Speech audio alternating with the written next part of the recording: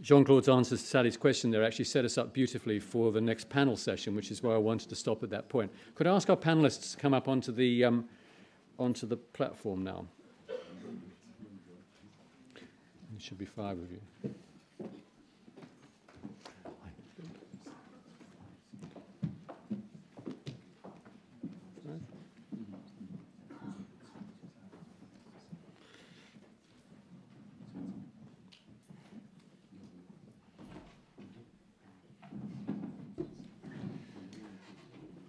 right, thank you. We're going to our next session now, which is our, our, our panelists. Um,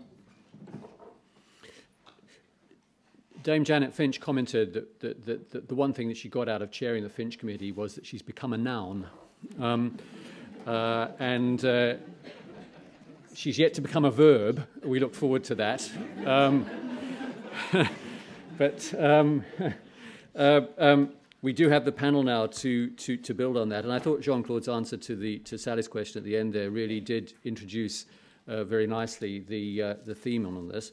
Now, in the, in, in the spirit of uh, Jean-Claude's suggestion that we should um, upend the author, uh, I'm not going to do the usual thing of introducing them. I'm going to ask them to introduce themselves. So I'm going to ask them just to, first of all, say uh, very quickly who they are, and then give us one or two words as to why they think they're here. Um, uh, and that should be very brief because then what we'll do is go to five minutes for everybody to speak to their topic because I want to allow a, a, maximum number of time, amount of time before lunch for interaction from the floor. So if we could start from the far end and if you could just quickly say who you are and why you think you were asked to be here. so my, my name is Carl Buhr. I'm working in Brussels uh, at the European Commission uh, with Vice President Neelie Kroes of the Commission who is responsible for the digital, digital agenda and for ICT-related research funding in Europe. And as we have heard this morning already a lot, um, big part of the reason we're here is, is, the digital revolution and the technologies that we're seeing.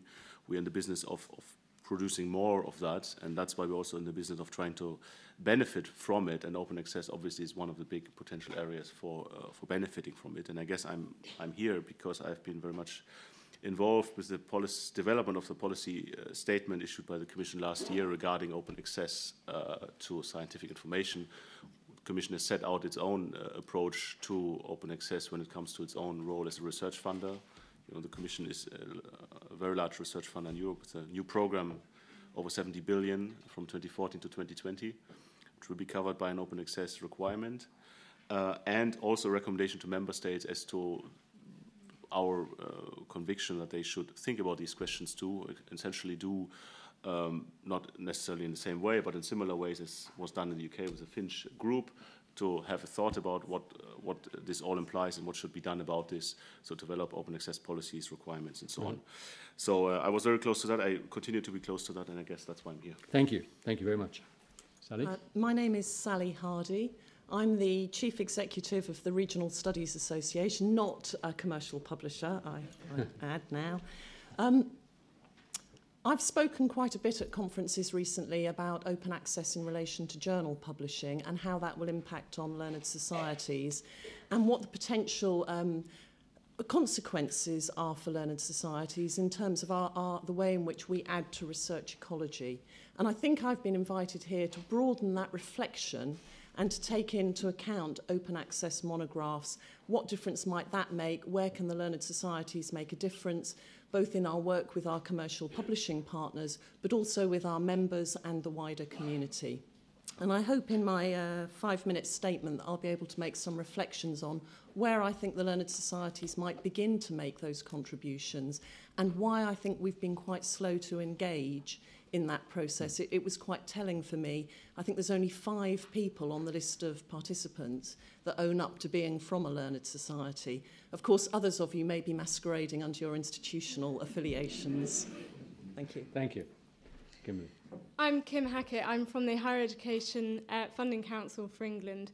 Um, and I'm here today, I think, uh, well, firstly in place of David Sweeney, who wasn't able to attend, um, but mainly because HEFCE at the moment are, um, are currently developing our policy intentions regarding open access and the next research excellence framework. Uh, not the current REF that's happening at the moment, but the one thereafter. Um, so we've been consulting and working dialogue with the sector on how um, we can introduce that requirement and um, really to, to say a bit about how monographs fit into that today. Thank you.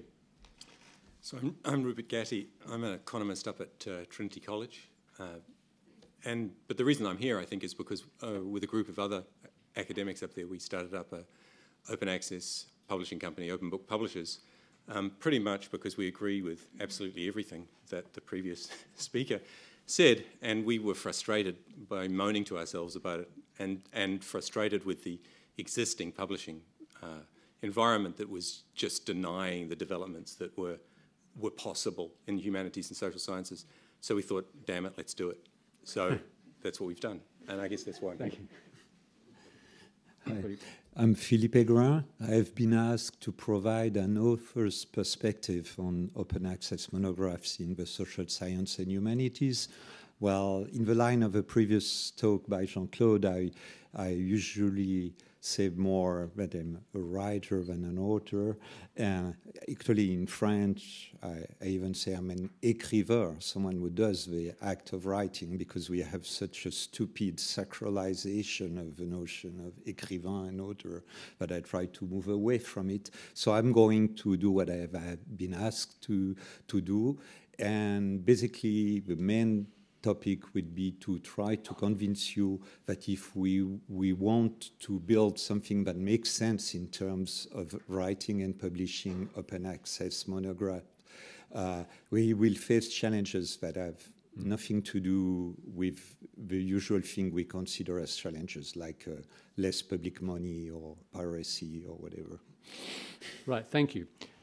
Great introductions. Now, what I'm going to do is ask each of you to speak for just five minutes. Now, we have to do this in the right order because otherwise you'll end up with the wrong slides, and I think that will mess up content a little bit too much for all of you. Although it could be a challenge, of course, to speak to the wrong slides, um, in the spirit of what Jean-Claude said earlier. But let's not let's uh, let's not do that. Um, so, Rupert, that means you've got to start.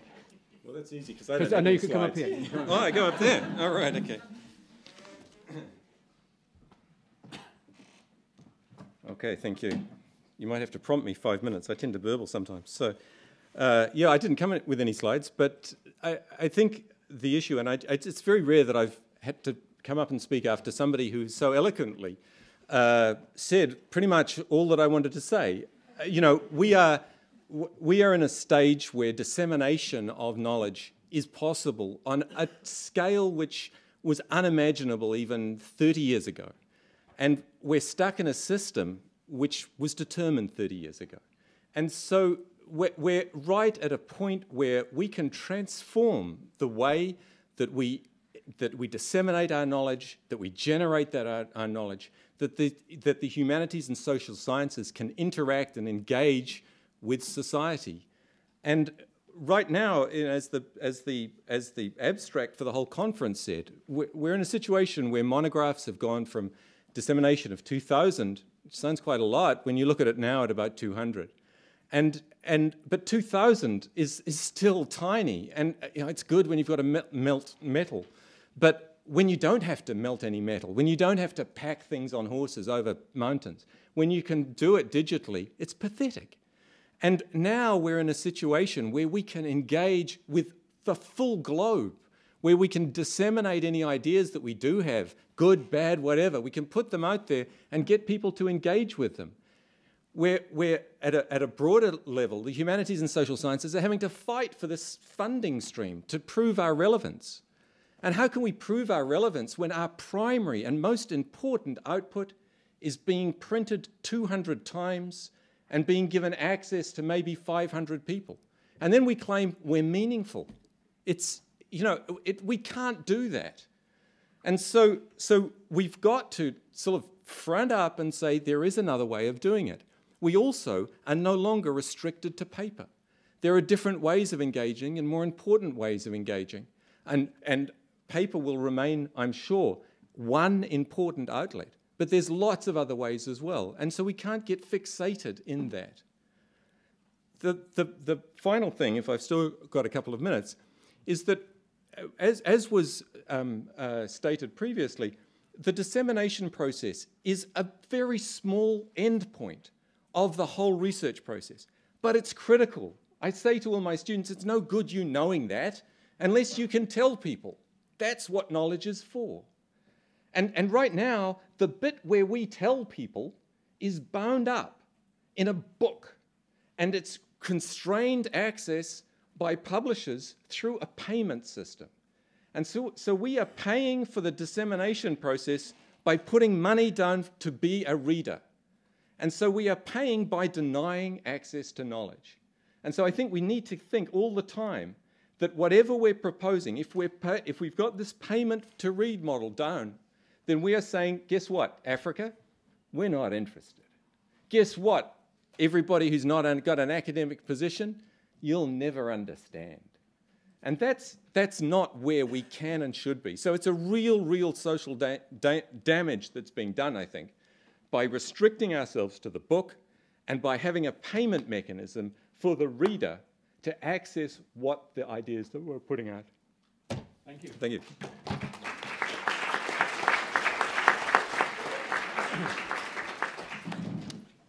Philippe. it should come up on here. Hello. Uh, so I have been asked to be here basically because I do write open access monographs in the social science and the humanities, but I must first put a disclaimer. Uh, the three of them have been written after I left academia. And when I actually, uh, when I was an academic researcher, I didn't feel any real surge to write monographs. And uh, that maybe tells something, that is, there are lots of things that do qualify content-wise, two of them were peer-reviewed classically, uh, that come from outside of the academia. So I would like to start by, sorry, by, uh, by a few hard facts. What I call hard facts are, are facts that won't disappear even when you hate them. uh, so uh, I think basically the social science and humanities and are they are just the same that any other domain in which people uh, uh, think about stuff, write stuff, and try to make it available to readers. And what is we experience is that with the birth of the information technology and the internet and the capability building it has made possible, there are more interesting people who are in a position to write stuff and make it available to others, much more than before.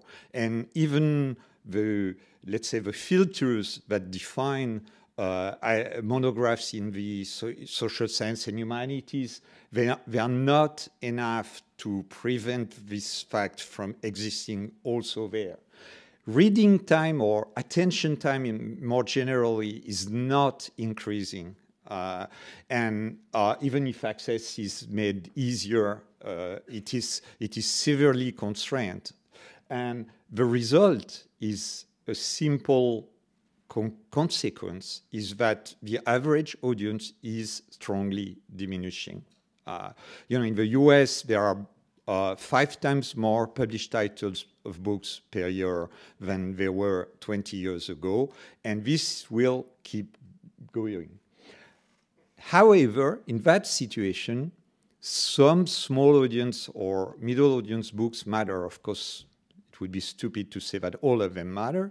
And we have a challenge in trying to, to, to make them acknowledge, to, to assist more of them to exist. So what I'm trying to do is to, to try to, to learn a bit from the experience of uh, my, my, my, last book, uh, written with a contribution of my daughter Suzanne, uh, who, who, was published by Amsterdam University Press and distributed through uh, for the open access version by the OAPEN uh, platform. Uh, this is a book we published in four uh, with four channels, uh, a paper book, uh, both print run, and that's basically because I was there. I was a stupid author, and I think I, we could have gone only for for print on demand. But commercially books, and I will come back to that because they are the stupidest thing that I have uh, seen here in, in this domain, uh, a free-to-share PDF and an augmented edition site here are the figures for, I mean, my books sort of live long. Uh, which means they, they live slow also. uh, and uh, so this is, this is an ongoing process, but basically uh, you could see that about 500 copies uh, have, been, have been sold, uh, which, let's say, by, by standards of this domain, look like a middle rather than small. Uh, but uh, uh, 3,000 downloads have occurred on the open site, which is amazingly low. So the first lesson is if I do it myself, like I did for the second book, the one you saw before, uh, and I, I am myself promoting the downloads, I, I will have five times more downloads. So the first lesson is open access publishers or publishers in general, they don't know how to promote uh, uh, access, free access on the internet. It's not easier to have many people access for free a book that it is to have many people access it uh, uh, uh by paying. But the other interesting thing is the augmented edition site of the book had 10,000 unique visitors and uh, which looks like a more interesting figure. Another interesting thing is uh, several of my books have been translated in several languages for one, and this is something which is incredibly encouraged by open access. None of these translations would have existed without open access. Uh, now, a few words before I leave the floor uh, uh, on the augmented edition. This is in it, we have what you should find actually uh, i also run a company that does annotation tools and, and, and websites collaborative websites. So we wanted that to be a kind of window uh, of our know-how. So basically uh, you find all the software code that was used in the study all the data sets. You can comment chapter by chapter. You see an example here uh, you can run interactive media uh, of the, the models, uh, interactive models on the site. Uh, and basically, what do you see is, well, of the 10,000 unique visitors, about only 5 five percent will will invest in the real interactive uh, facilities, that is, uh, data sets, uh, source code, and which goes back to the number of people who were seriously interested in, the, in reading the book. Uh, I, uh, the most innovative aspect is uh, maybe the running of the interactive models because it's really uh, developing new, new uh, uh, a new involved relationship of readers in, in the substance of uh, what is told in the book. Uh, we, we were very much uh, stimulated by an example of a book on fiscal uh, reform and fiscal policy uh, by uh, Thomas Piketty, Camille Le Saez, and Landais. and give a look if you have time. And thanks for your attention.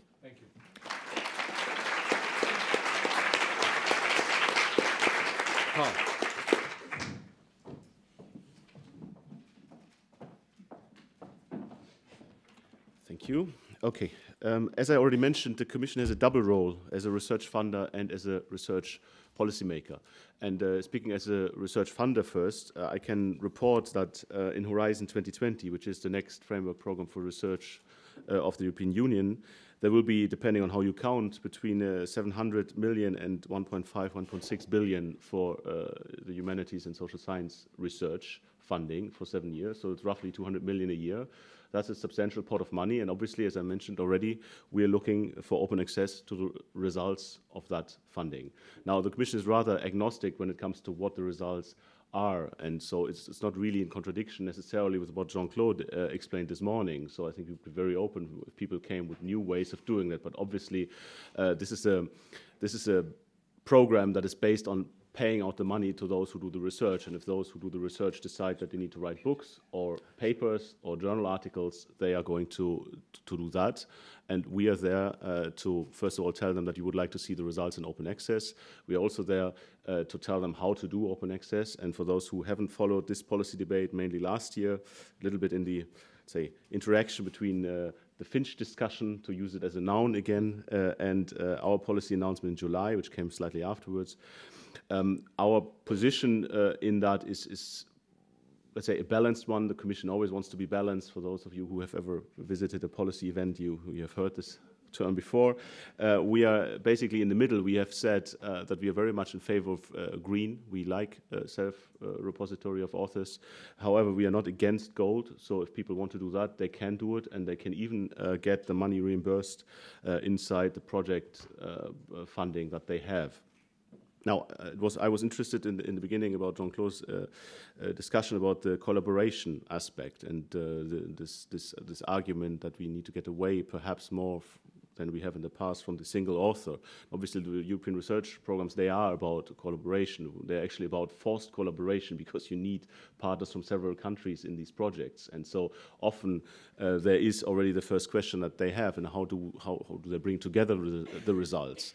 And this brings me to another problem uh, in the end. So you have project reports, you have outcomes of this, and of course you have individual researchers or groups of researchers publishing about the results. You may also have the odd or not so odd PhD student working away on their thesis uh, as part of, of such a funded project, which then comes much later. And obviously we want to have all of the outcomes uh, covered by the open access uh, mandate that is going to be there, uh, uh, which raises the question of what to do when projects are over what about this funding element? Because we really want to be balanced on this. We don't want to just say, well, we are green and gold, but by the way, now your project is over, so there is no money uh, anymore. And so, uh, to give you a state of play currently, we are studying the way possibilities how to do that without, however, going as far as uh, I think some announcements in the UK have thought us the UK would go, uh, namely of, of somehow saying that every CAMA will have money for, for what, what's going to be done there. It's obvious that uh, this, this amount of money is not available and is especially not known today, and it's not known, cannot be budgeted for, and therefore by definition it's not available. But we are working uh, very actively on setting up uh, such, such an instrument that will, would allow to catch uh, those cases where really the outcome comes after the project is formally over, but we really want the results not to end up in some you know, closed publishing setting, but we want to, them to be available too. Uh, and to allow that, we want to be uh, have having set up a flexible uh, system. Two other elements, perhaps interesting also in light of what Martin said earlier about the stuff and the data and the, the different kinds of things that we have. We're also looking not only at publications and be they modern or more old-fashioned types of publications, uh, but also at data, uh, so research data, the underlying uh, information on which the, the results are, are based. And uh, there we are setting up something which we should call the data pilot. And basically the idea is here to make sure that we uh, go into the direction of open access to the data too, mm -hmm. however, in a less, let's say, forcing way. With uh, publications, we have already run a pilot, as some of you may know, uh, since 2008, we think we have enough experience to now conclude that it's time to go to an open access mandate, whereas for data, it's a bit more early days still.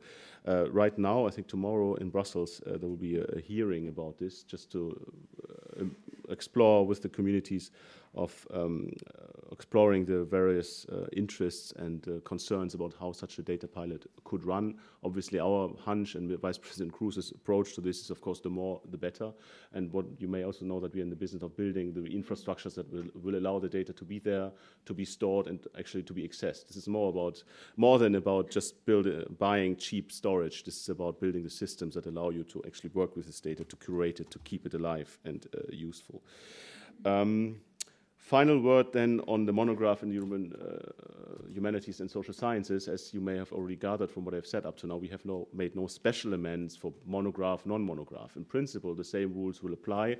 Obviously, the question will, will then come up, how are the costs uh, you know, allocated between the two types of very different types of uh, publications. How can these things be planned before? Normally takes, we have heard it a few times already, it takes longer to write a book. So maybe you're in a, a larger risk to be behind uh, a project uh, schedule and to be too late in a way. We already discussed this morning a bit possible ways to amend that where you basically decide before that you write a book, you commit the money, uh, we would be happy, our, our, money would flow, our auditors would be happy, but in the end, you could still uh, finalize the manuscript a year or two or three years after uh, the projects are over. That may be one possibility. As I said, we are studying others.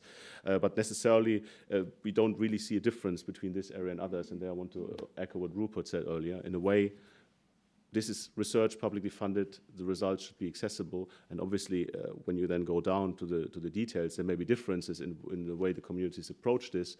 But from the res, uh, research funders' perspective, we don't see the need to make any special arrangements for that, apart from the embargo period for for self uh, depositing, where we have allowed uh, for 12 months instead of six uh, for these areas, which I think also has seen some examples elsewhere. And with that, I spoke 90 seconds too long. I hope you can forgive me. Thank you.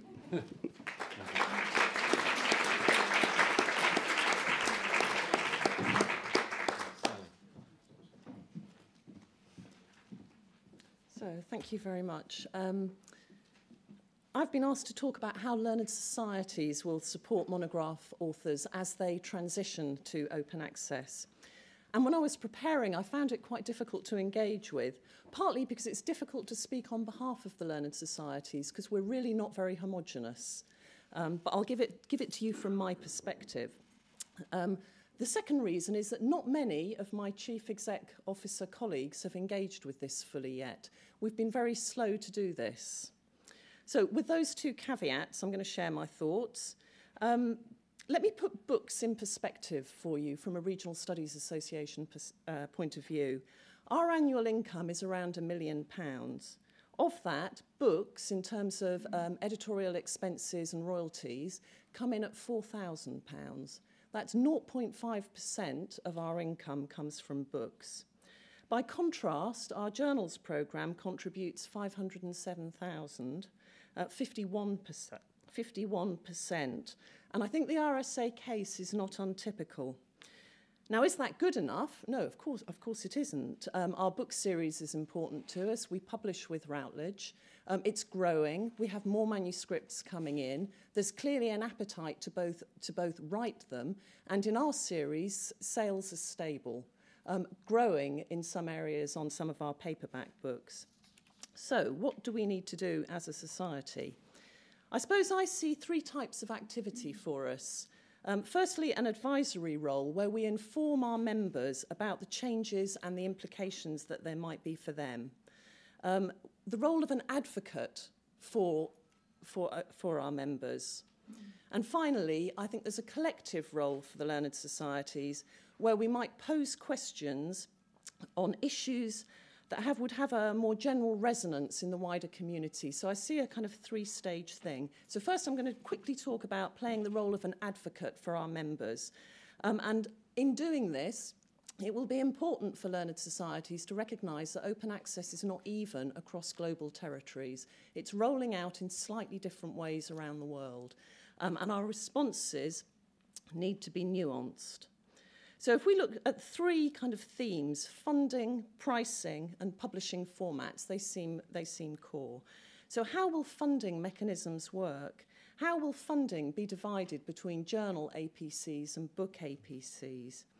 How will we be sure that our members get access to those funds in, in whatever kind of society we work? What about pricing? We're beginning to see offers come through now to the market. So Palgrave are offering £11,000, Springer €15,000. Uh, Manchester University Press have come in at 5,900 for up to 80,000 words, and then a, a sliding scale. Intech are charging by the chapter. There's, there's a multitude of different um, models. So, from a, a learned society point of view, are those prices equitable? Do they apply across all disciplines? If not, what's the justification for that? Is it because of increased typesetting costs because of the type of content? I wonder whether we might be seeing the days of more expensive books in the area, areas like economics and business studies coming to an end. And, and I think that would be a very good thing. What about publishing formats? A number of models are appearing. Um, there are models where you make the plain HTML version that can't be printed freely available. So that's your open access. And then you buy, you have the option to buy your hardback, your paperback, and your, your e version or your PDF. Um, it's possible to buy premium ebooks with enhanced um, navigation, search facilities, and multimedia content. But which model is best? Does there need to be a single best model? Perhaps there's advantage in having a complex offer which allows authors to choose from a wide number of options that might suit their audiences better. Another area where we might support our members um, is through advising them on, on what's happening, developments with open access monograph publishing. In preparing, I was very struck, for example, on a different culture and attitude to licensing in the books world to the journals world. In books, CC BY seems to be promoted as a unilaterally good thing. If you look at the Palgrave and the Springer websites, CC BY is beautifully um, displayed as excellent. I mean, Jean Claude, I'm sure, would totally agree with that. But we know from various surveys, and the OAPEN survey most recently, that many authors have reservations about that. They're worried about the, about the way in which their content might be used, and they do feel a sense of ownership and wanting to protect that. Um, I think the associations have a role and a responsibility to their members in getting these issues out and making sure that they know what, what these licenses are, what they mean, what the implications are. For example, on the Palgrave site, they quite openly say that if you're going to publish your book CC BY, please don't plan to include third party materials because it's A, likely to cost you a lot more money, or B, you're not going to get permission for it. What kind of world is that that we're living in? We really need to make sure that our constituent members understand these issues. Finally, um, I imagine um, that as, the, as with uh, open access journals, um, there will be um, a kind of engagement by the learned societies in, in the debate. And what I would like to see is quite a number of issues being raised by the societies which will have this broader resonance where we can engage in, in discussions with um, academics, with the commercial publishers and, and with the funders. And quite a number of issues immediately spring to mind. So green or gold, open access publishing for monographs.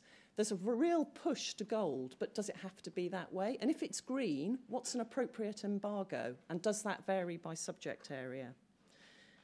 Not all publishers are offering discounts to developing countries. Springer is because it's funded externally, but Palgrave isn't, and they're completely open about that on their website. How do we feel about that as a community? How do we ensure a publishing environment which avoids a breakout of predatory publishers? And I refer you to Beall's list here of predatory publishers. We know that there are publishers that would sacrifice quality just for the money. What about peer review? Absolutely critical question for the learned societies, I suggest. Um, do we need a debate about new forms of peer review? Or are we confident in our existing systems? Mm. If we use sales as a proxy for quality at the moment, will publishers be able to upgrade their portals in order to allow the measurement of downloads and page views? We know it's being done in some of the pilot projects at the moment. But if so, for the smaller publishers, how will they fund that?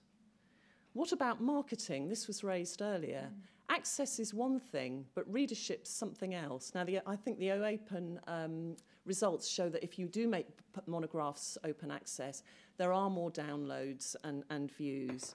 But how, how do we know that? When, when there's, what will be the incentive for marketing in a world where the publishers have all the money up front? And is it right that we push all of that back onto the academics? That's not their primary purpose. How will membership schemes work and will they be ethical?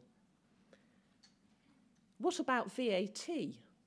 That will have a big impact. Not very interesting. I can't stand VAT myself. I find it very confusing. But it is an important issue in open access publishing and online publishing.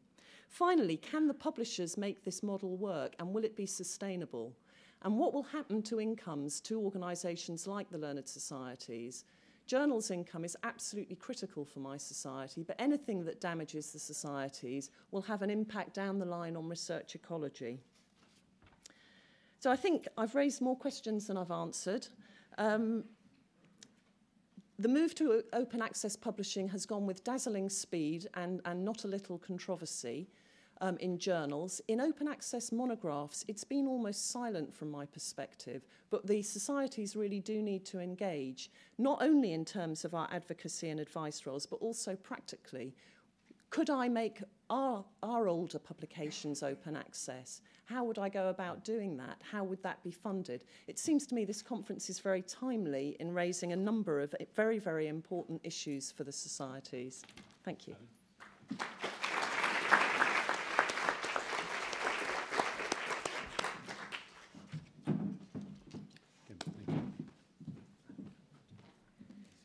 Hello. Um, I'm going to start off just by um, giving an overview of uh, our view of the benefits of open access generally, which underpin our policy objective. And they are, as is well known, effic- increased efficiency in the research process, um, in having research findings freely available and accessible online, with all the potential for text and data mining tools uh, developing, and for public understanding in being able to freely access um, publicly funded research findings. So, um, as a council, we want those benefits to apply to research in all disciplines and for open access, therefore, extend to all output types for which it's reasonably achievable um, for, to do so. Furthermore, um, sharing some of the, the ideas already discussed today, we share the view that open access for monographs actually offers an opportunity um, to develop a sustainable model and also for it to respond to the changing environment of scholarly communications. Um, so, um, following on from that, it's our policy objective to encourage the increased, uh, an increased proportion of research outputs to be published in open access form.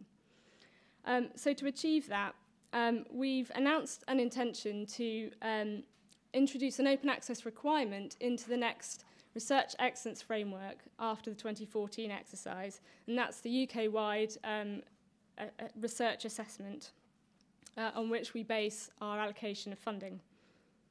Uh, so we set out our initial thoughts on, on how we'd introduce this requirement in a, in a letter in February and sought advice on that, on those initial thoughts. And it's that advice that I wanted to discuss with you today, really, and in particular, the advice that we received on monographs. Um, we think this advice offers quite a significant resource to us at the moment in terms of the increasing our understanding on the feasibility of, of open access and to get a sense of the different perspectives that exist in the sector at the moment and the varying concerns that are held by different groups.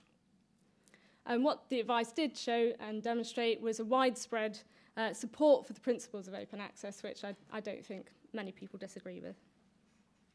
With regard to monographs, um, the advice underlined um, the value of monographs for research in the humanities and social sciences. And that's something that's been a little bit questioned today, but it's certainly something that came through strongly in the advice that we received. Um, but advice also echoing what we've heard about concerns about the current model um, for publishing monographs is described as being broken and offering low economic return. Therefore, a number of respondents expressed the view that there's a need for a sustainable open access model um, often with a view that, that HEFCE should encourage and support developing work on this. But similarly, um, there were concerns that the developing models would need to ensure that the UK reputation for research in these disciplines is maintained um, through the high standards, through keeping the high standards of peer review and editing that currently underpin the quality of research in these output types. But that reflects a more widely held concern um, in, in the advice relating to the timing of our policy intentions and the stage of development of open access monograph models. A number of respondents did um, highlight the number of new initiatives, often enthusiastically, with a great deal of optimism about their potential, which is great. But many also highlighted the quite early stage of some of these developments, suggesting that they're not going to be advanced enough to make open access for the post 2014 REF feasible, even with an appropriate notice period before the requirement applied, and especially in view of the different publication times um, between monographs as compared with journals. So, in summary, the ma- majority view expressed was that it was at this stage not appropriate to introduce a requirement for open access for monographs into the next REF. The advice also highlighted the different range of positions from researchers, publishers, funders, and their specific concerns and issues which we'll need to address going forward and gather evidence where possible to inform further policy development. So, just to summarise the next steps of what we're doing, we sought that advice to feed into the development of a formal consultation on open access in the next REF, and that consultation is due to be launched in a few weeks' time. In developing those proposals, we have taken account of the advice that we received, uh, including on those outputs for which it's appropriate to expect open access publication. So for monographs in the meantime, as mentioned, it's clear that there are a number of views and concerns to address, supported by a number of calls for further work to be done. And, and we don't have the answers at this stage to address those concerns that have been raised in the responses and more widely. Um, but we think it's important now that we all work together to gather the evidence on monograph publishing, explore the future of workable, sustainable models that will maintain the high standards and increase accessibility. So we're just at the very beginning stages of some work that we're hoping to take forward in partnership with other funders to gather evidence and explore the possibilities, working with key representatives from the, from the different interested groups. So we're looking forward to exploring these issues and will, of course, report on these in due course.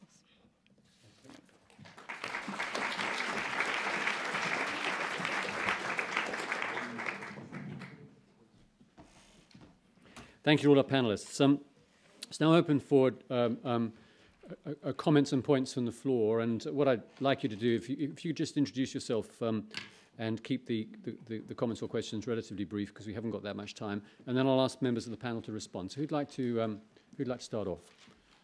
yes, yes. Have we got him? Did I see somebody? Yes. Where? Okay, at the back. Sorry, sorry. got a light in my eye here. Please go ahead.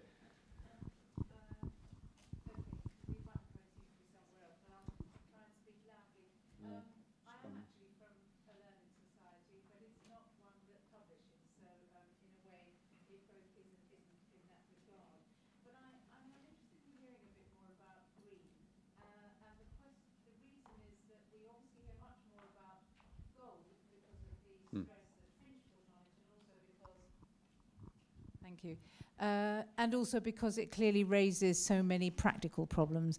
But one of the ideas that I've heard floating around about green is that learned societies might be a better place for the repositories to be than the repositories that currently exist in HEIs. Um, partly because then it would be much easier and more obvious mm. to go to the subject concerned. Um, now then, of course, there would be a funding problem, and I think the funding problem is one that we might encourage HEFCE and other people to be thinking about. Thank you. Well, let's start with you, Sally, on that then, because it starts in with learned societies and green. Yes. Um, it's a very interesting question, and I, and I would very much like to explore um, green book publishing as well. The commercial publishers seem to have moved firmly down the gold route, um, and that's for very understandable reasons. Um, there isn't very much to be read on green, but there is some material if you look closely for it. Um, embargoes would be a serious issue there. How long, how long do you embargo a book for? Um, I think that would be quite tricky. Um, your point on repositories um, is, is very interesting um, and a little bit scary because running a repository is an absolutely non-trivial task. Um, I, I really don't think that it would be realistic for many humanities and social science learned societies to engage in that, even with additional funding.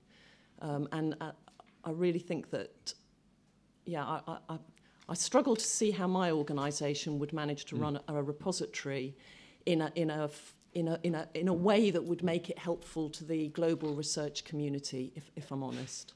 Thanks, Sally. Other comments on Green? Go ahead, Philippe. Yeah, I had some experience with uh, let's say my first book with uh, which was published by Fayard, it's a subsidiary of the Lagardère Hachette books.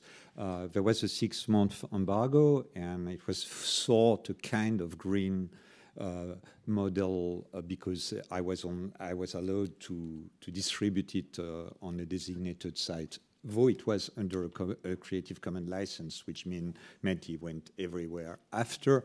Uh, and the main lesson I learned is, uh, you know, from uh, the angle of synergy between uh, uh, uh access to the uh, open access version and sales, the, the proper embargo duration is zero.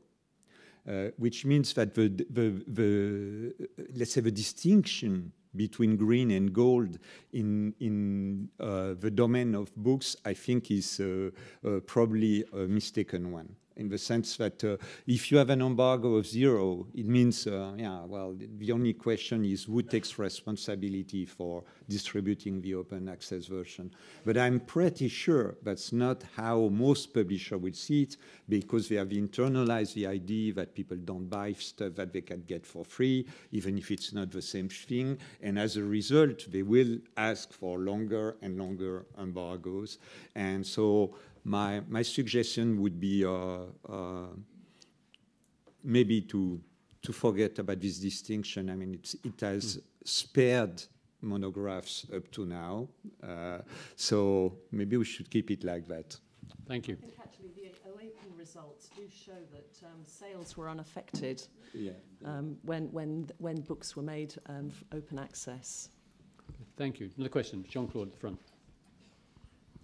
Yeah, in the in the same line, I think the discussion that's going on right now is still very much stuck on the idea that there is a, a fixed monograph. Mm-hmm. Uh, even if we take the monograph as the end product of, of a certain process, uh, maybe there would be a role for learned societies as well in helping promote the manuscripts uh, ahead of things, promoting the communities around these manuscripts, and working in terms of repositories, working with libraries. I, I think there's a natural fit there. And, uh, and then when, the, when the, the manuscript reaches some sort of viable plateau, intellectually speaking, uh, then something like a publication could take place, which would not necessarily stop the evolution of that text, but would show that this is, let's say, a long-term service document that can be uh, uh, perhaps commercialized, sold, whatever. But then we go into a different realm. And we have a dis neat distinction between the intellectual effort and the economic sphere. Rupert, would you like to comment on that? Yeah, I, I mean, I just agree wholeheartedly. I, th I, think one of the one of the problems that we've got is, is the debate is exactly this rigidity, and I, I think the green gold, um, the issue of the of of an embargo period is is really critical here. If you're going to realise the potential of open access, I mean, it's not even the potential of open access. Open access is a piece in a puzzle of digital dissemination. It's a really mm. critical piece, but it's only a piece. And you can't disseminate knowledge. You can't do, you can't realize the potential of digital dissemination without having the text available for people to interact with. And so an embargo period of anything is a nonsense because you're, you're denying the very process of dissemination which is so critical to where we should be going. So this green gold distinction, I, th I think, is damaging because it forces one back into a fixed package and that this thing comes out as a fait accompli, something that's there with a full stop and a bound cover on it. And that's what we call gold, and we put it somewhere else and call green. I think there is a real role for institutional repositories in exactly the same way that there's a process there that is, is capable of, of, of of, of storing uh, the disseminated work of an institution or a university. And there's real roles for, for academic societies in, in, in being people to, uh, to help facilitate identification encouragement of good research and putting it up there. I really, really, really pull my hair out at academic societies that say, I rely on the money. I, I, that, that, you know, the role of the societies, I, am not sure when the role of the societies stepped in to be a union representative for its participants. It, it used to be about disseminating knowledge, about putting it out there and letting society access it. And I think we can really focus that and bring it down and bring the societies back right. to play a central role in that. Thank you. Now, Sally wants to respond to that, but I'm not. I'm. Um, I, I, I, but, but, but I'm not going to let her. Um, because Carl, you gave us uh, initially. I'm not going to let her. I won't be able to stop her eventually. But but um, Carl, you gave us some very very large numbers at the beginning that you're going to give us all through European Union funding, Framework Seven. So how are you going to match your and and Kim? How are you going to match your funding models? to something that everybody seems to think is a good thing? How can you make your funding models make, make it possible for the sort of vision uh, that, uh, that Rupert's talking about there? Well, I mean, first a clarification. The reason we are talking about green is not uh, about embargoes in the context of green. It's not that we want this text to stay closed for six months or 12. Obviously not. I mean, this, this you have to see in the context of the research funder going out and telling the recipients of the money what they can do. And you can imagine that right now, everybody knows the figures. They're not very large of spontaneous, uh, you know, making open access of research publications by the authors. That's the only reason we're talking about uh, mandates now. And going from zero basically to 100 and saying everything needs to be open on day one is not just you know, people will, will say, well, it's great because that's the only way that makes sense. That was a little bit what mm. Rupert said, but there will, there, even with 12 months and six months, we had a lot of uh, debate in Brussels, not to call it lobbying, uh, around this. And I think it makes sense if you if you talk about a transition system, because you, there will be researchers. They, somebody called them conservative earlier, especially the, the, the, young ones. And you cannot just ignore all of mm. that. They are there. They're all in the process of already writing something, and then tell them, well, it needs to be open from day one. So forget about all of those journals who now, and not only you know, not without impact maybe from the UK debate, have now chosen to uh, to demand uh, embargo periods that are longer than 12 months or longer than six months. You just tell them, sorry, forget about this publication uh, opportunities. That, that's what we don't want. So we want to leave the door open there to, to be reasonable, to make, make it possible for people to get both, to be uh, uh, available in open access and publish in the Journal of the Dream, if they can call it like that, in the best possible one that they can get into. Leaving alone the whole debate about whether there should be such a thing as a good and a bad journal and whether that is the past or not the future. But you see, in a way, a research fund is also a conservative place because it's about putting money out for something that politicians have decided is important. And so you cannot then stop putting out all of that and say, uh, well, I don't believe in the journal anymore, because then, then you just become irrelevant. And so maybe this situates a bit uh, the, this discussion. One last uh, comment, if I may, on this.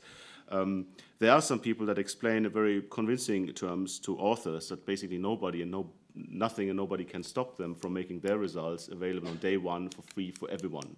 So I like this idea. I like people doing that, but there are only so many instruments you have to actually make take this tool and actually do it. And so that's the reason why we mention embargo without meaning that they have to keep it closed. Far from it. Thank you. Now, before coming back to Sally, uh, Kim, in, would you say that one of the reasons why in your consultation uh, uh, uh the people you consulted were unenthusiastic about moving to um, open access for monographs the next ref is because they were thinking in their minds, where am I going to find £10,000? Um, I, not so clearly expressed. I think that's part of the reason, um, and certainly um, from the humanities and social sciences, that is a concern for open access more generally. I think, um, not just for monographs, um, but uh, mainly because th- there doesn't, there wasn't confidence that there had been a, a workable model demonstrated yet.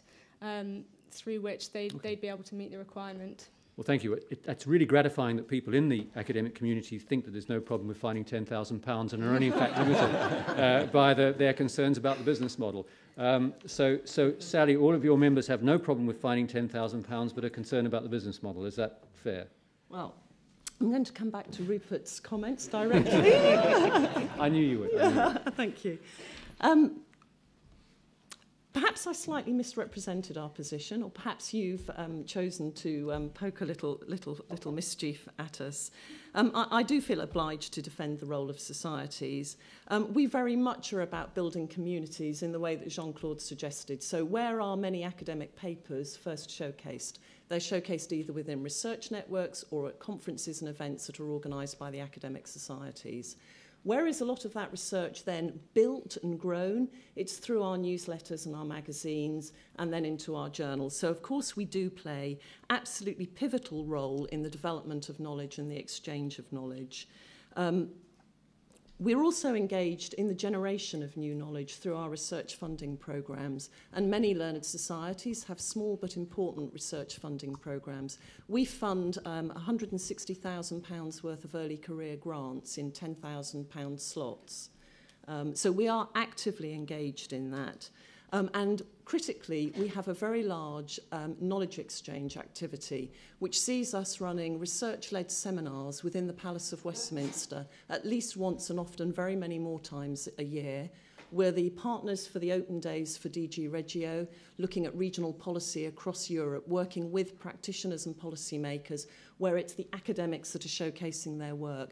Now, this is part of what the, the learned societies do around the growth of knowledge and the exchange of knowledge, which is, which I, I'm sure you agree, um, is terribly important, and that does need to be funded. So if a part of what I'm doing is saying, let's make sure that in the development of open access monographs, we, we build models that are um, economically sustainable, then a little bit of me is not ashamed of that because we believe in the quality of the work that we do, and that work does need to be funded in some way.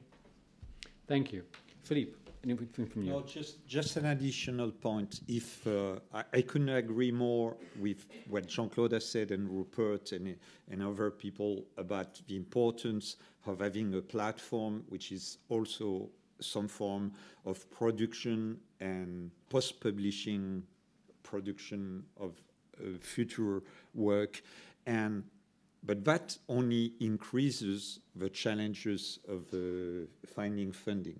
Uh, this is, uh, it's clear that, uh, let's say, today there are very few projects that can have few MIT books in the natural science and the two examples I mentioned, mine and, and Piketty's book, that can afford putting that in place.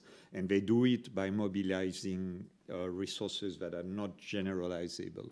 So I think really if I have uh, uh, a message to my former uh, let's say, not my former colleague, but the, the colleague of the organization for which I used to work, is uh, do consider the uh, uh, financing of putting in place these platforms, open access based, but uh, with additional, uh, with really real innovation in functionality and sharing of the platforms between people because this is really a work we cannot afford.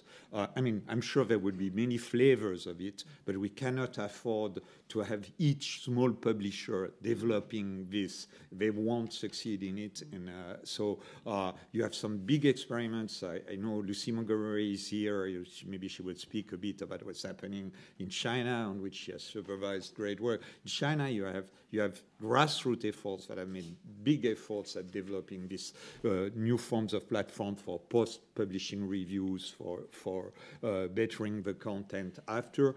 This is, uh, this is the process we are going to see also with players like Piaget, or, or but uh, it should be, uh, that's where uh, let's say, public policy and society efforts should should target their their uh, low means.